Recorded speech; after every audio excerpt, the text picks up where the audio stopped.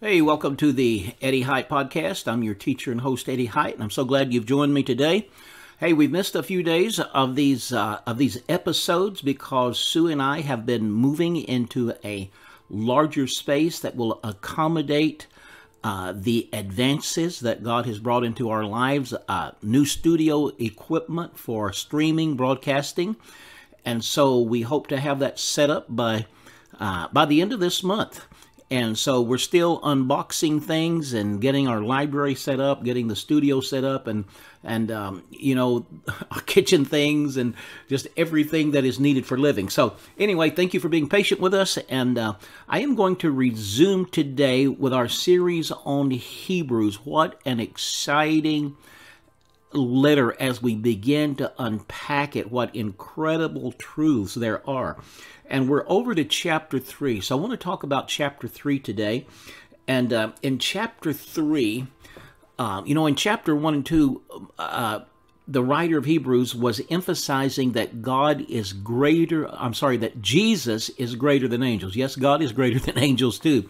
But this whole letter, as we talked about at the very beginning, uh, is written to Jewish believers to encourage them and to warn them because they had come under persecution uh, for their faith in Jesus and because the Roman Empire had given the Jews uh, freedom to practice their own religion, uh, but they had not the Christians. And in the beginning, because Christianity began in Jerusalem, with Jews who recognized Jesus as the Messiah, well, they enjoyed, Jewish believers in the Messiah, Jesus, they enjoyed the protection of the Roman Empire towards the Jewish people. However, as the as Christianity spread into the Gentile world, and then it became obvious that this was a movement separate from Judaism, and Christians came under persecution. Well, Jewish believers, uh, especially outside of Israel, they came under those same persecutions. So many of them were tempted to give up their faith in Jesus in order to avoid the persecutions and to just going back and being good Jews and and um, and, and living in, in Judaism. So this letter was written to both encourage and to warn. And one theme we see throughout the letter is how that this this, this new covenant is better than the old covenant, that everything about the new is an advance on the old. And uh, in chapters 1 and 2, the writer emphasizes, among other things, that Jesus is greater, the Messiah is greater than angels. Now, here he's going to emphasize, and as we start reading in chapter 3, that Jesus is greater than Moses.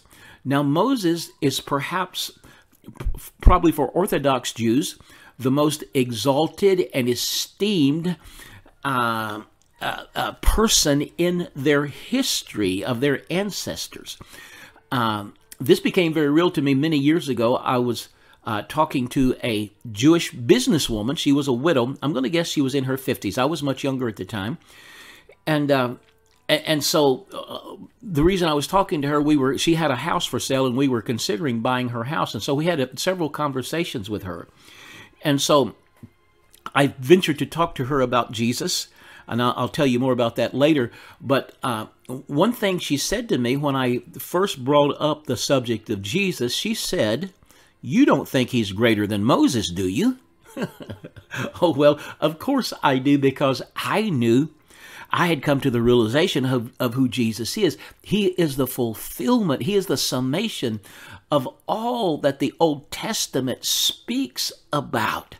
The Old Testament, the, the entire Old Testament was written to lead the Jewish people and now to the people of the world, to the Messiah, to the Savior, to Jesus Christ. He is the goal of the Old Testament. He is the goal of all creation.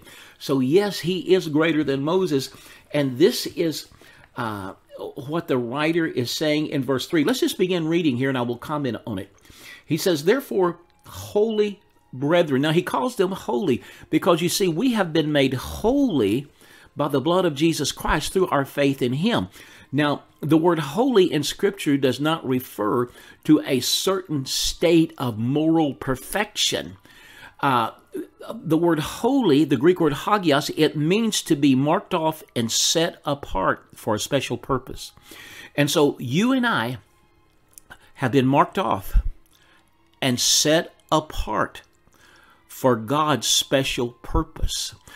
And and and Paul will often he will he will exhort the Christians to, to live up, to walk worthy, and to live up to this holy calling that you have see, uh, you have received because God has marked you for a special purpose. He's called you. He has set you apart for a special purpose. You're not just like everybody else.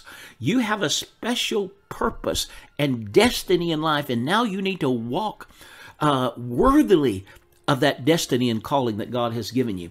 So, therefore, holy brethren, the Greek word is adelphoi, and it referred to both men and women. That's why the NIV, I'm reading from the New King James, but that's why the NIV says, Therefore, holy brothers and sisters, partakers of the heavenly calling. You see, we share in this heavenly calling. We share in the heavenly calling of Jesus Christ. He has made us a part of His family. And so we share uh, in, in His destiny and His calling. Partakers of the heavenly calling, consider the apostle and high priest of our confession, Jesus Christ. The word apostle means one who is sent, an official representative, and of course, a high priest is, is one who goes to God on behalf of others. So, Jesus is the one whom God has sent, not Mohammed, not Buddha, not any other religious leader Jesus is the ultimate one, the representative of God. If you want to know what God is like, just look at Jesus. He is the apostle and he's also the high priest. Not only is he the one that God sent to us, but he is the one who goes to God on our behalf. He is the apostle and high priest of our confession. And he says that he was faithful to him, appointed him as Moses. Now, here he's going to give the contrast to Moses as Moses also was faithful in all his house. For this one has been counted worthy of more glory than Moses. This one, talking about Jesus, has been counted worthy of more glory than Moses, inasmuch as he who built the house has more honor than the house. The Greek word here is, is oikos, and it, it, it, it doesn't just mean a building, it refers to a household. And in those days, a household could be hundreds, maybe thousands of people, depending upon uh, the wealth and status of, of the householder, because it could uh, include not only immediate family, children, but could include aunts and uncles and cousins, servants and slaves and their families. And so a household could be a very large. And so here he's saying that this one is worthy of more honor than Moses, inasmuch as he who builds the household is worthy of more honor than the household itself. Moses was a part, he was faithful in God's household. But Jesus said, On this rock, I'm going to build my church. And church is a, you, you could say that it is a, uh, uh, it is used in, in the same manner it is used in the same way as household. A, a, church, the Greek word ecclesia, is a gathering together. A household is a gathering of people who belong to this certain household. And so Jesus is the builder of the household. So he has he is worthy of more honor than Moses. Now, I want to get in, we're not going to be able to today, but we're going to get in to, to the scripture here it talks about how uh, Moses was not able to, to bring them into their place of rest into Canaan because they rebelled. And he tells us at the end of the chapter that there remains, therefore, a rest to the people of God. And we can only find that rest of faith in Jesus. We cannot find that rest of faith in Moses. This is the point he's going to make. We cannot find that rest of faith in Moses in the Old Testament law. We can only find this rest of faith in Jesus. And I will close this by reading the words of Paul in Romans chapter 10, amazing uh, words that I think that sums up what the writer of Hebrews is saying to us.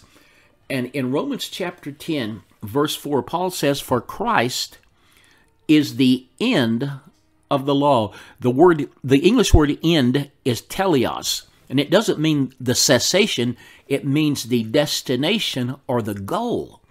And so Paul says Christ is the destination, he is the goal of the law for righteousness to everyone who believes.